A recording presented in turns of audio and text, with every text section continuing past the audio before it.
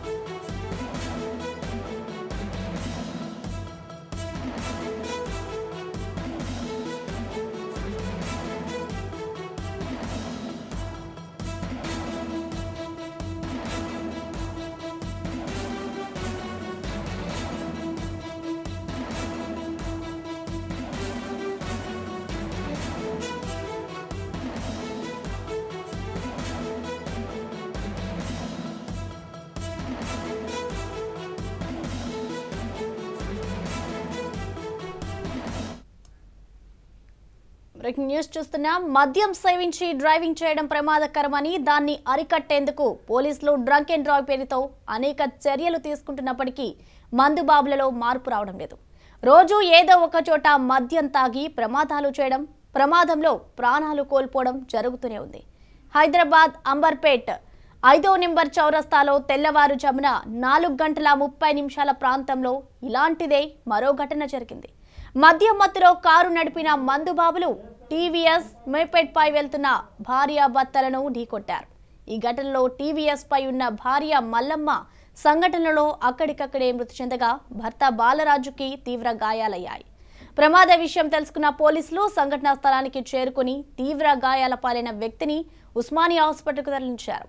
Case నమోదు చేసి దర్యాప్తు చేస్తున్నారు. యాక్సిడెంట్కు కారణమైన డ్రైవర్ను పోలీసులు అదుపులోకి తీసుకొని విచారిస్తున్నారు.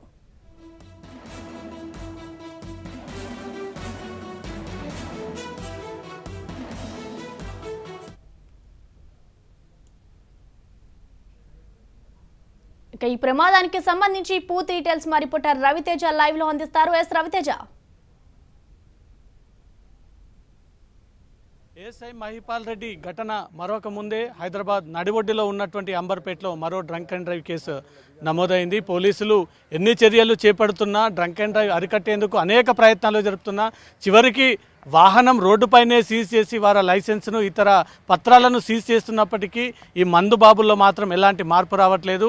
నిన్న ఉదయం తెల్లవారుజామున నాలుగున్నర ప్రాంతంలో అంబర్పేట చే నెంబర్ చౌరస్తా వద్ద పని నిమిత్తం బ- దంపతులు త- తమ ద్విచక్ర వాహనంపై వెళ్తుండగా ఒక్కసారిగా వెనక నుంచి వచ్చినటువంటి ఆల్టో వాహనం ప్రస్తుతం మనం స్క్రీన్ పైన చూస్తున్నటువంటి నుజ్జు నుజ్జైనటువంటి ఈ వాహనమే చే నెంబర్ ఉదయం నాలుగున్నర ప్రాంతంలో ముందు వెళ్తున్నటువంటి దంపతులను ఢీకొట్టింది. ఒకసారిగా వాహనాన్ని పరిశీలిస్తే ఎంత వేగంగా ఈ వాహనం రోడ్డుపైన ప్రయాణిస్తుందనే చాలా స్పష్టంగా అర్థమవుతుంది. ముందు ఫ్రంట్ గ్లాస్ పూర్తిగా పగిలిపోవడము ఇంజన్ భాగం అయితే పూర్తిగా వెనక్కి నెట్టుకు రావడం పూర్తిగా పార్ట్స్ అన్ని కూడా డ్యామేజ్ అయిపోవడము లెఫ్ట్ సైడ్గా ఉన్నటువంటి హెడ్ లైటు ఇక్కడ ఉన్నటువంటి రేడియేటరు నెంబర్ ప్లేట్స్ బానెట్స్ పూర్తి కూడా దాదాపు ఈ యొక్క వాహనం వంద నుంచి నూట ఇరవై స్పీడ్ వరకు కూడా ప్రయాణిస్తున్నట్టుగా మాత్రం పోలీసులు గుర్తించారు. నిన్న ఘటన స్థలంలోనే భార్య మల్లమ్మ చనిపోగా మాత్రం భర్త తీవ్ర గాయాలతో ప్రస్తుతం కొ- ఊపిరితో ఆసుపత్రిలో చికిత్స అందిస్తున్నట్టుగా వైద్యులు చెప్తున్నారు. మనం ప్రస్తుతం అంబర్పేట పోలీస్ స్టేషన్ దగ్గర ఉన్నటువంటి బంధువులు ఉన్నారు. వాళ్ళతో మాట్లాడించే ప్రయత్నం చేద్దాం. ఎన్ని గంటలకు వీళ్ళు భార్యాభర్తలు రోడ్డుపైన వెళ్తున్నారు? అసలు వీళ్ళ వృత్తి ఏంటి? దేని కారణంగా ఈ యొక్క ప్రమాదం జరిగింది? పోలీసులకు మీరేమని ఫిర్యాదు చేశారు? ఈరోజు వాళ్ళు రెక్కాడితే కానీ డొక్కనటువంటి పరిస్థితి వాళ్ళ కుటుంబం. అయితే వాళ్ళు అప్పుల పాల ఈడ బ్రతుకుదేరు కోసం వచ్చి పండ్లు రోడ్లపైన పండ్లు అమ్ముకున్నటువంటి జీవనంలో వాళ్ళు ఉన్నారు.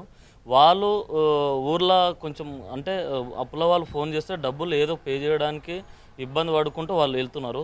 వెళ్తున్న క్రమంలో నా ఎర్లీ మార్నింగ్ నాలుగున్నర ఐదు గంటల ప్రాంతంలో వెళ్తున్నప్పుడు ఇక్కడ అంబర్పేట సిగ్నల్ దగ్గర నుంచి కొంచెం ముందరికి వెళ్ళిన తర్వాత ఈ ఈ మారుతి ఆల్టో కారు దాదాపు అంటే వన్ ట్వంటీ స్పీడ్లో అది రాంగ్ రూట్లో వచ్చి వెనక నుంచి కాకుండా ఎదురుగానే గుద్దడం వల్ల వాళ్ళ భార్య స్పాట్గా డెడ్ అయింది. ఎగిరిపడి స్పాట్గా ఆమెకి ఇక్కడ తాకి స్పాట్ డెడ్ అయింది. ఆయనకి కాలు విరిగిపోయింది. ఈరోజు ఆయన కొనాబీన్ ఉప చాలా ఘోరమైన పరిస్థితులు ఉన్నారు అతని. కాలు ఇరిగిపోయింది అతనికి ఇప్పుడు వేరే హాస్పిటల్లో చికిత్స పొందుతున్నాడు. ఆయన పరిస్థితి కూడా వైద్యులు సీరియస్గానే ఉందని చెప్పి అంటున్నారు.